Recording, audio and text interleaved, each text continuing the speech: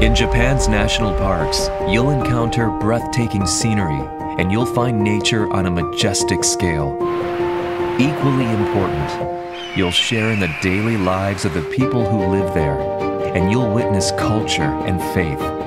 In these lands, people and nature coexist in harmony. These are Japan's national parks. Stories to experience.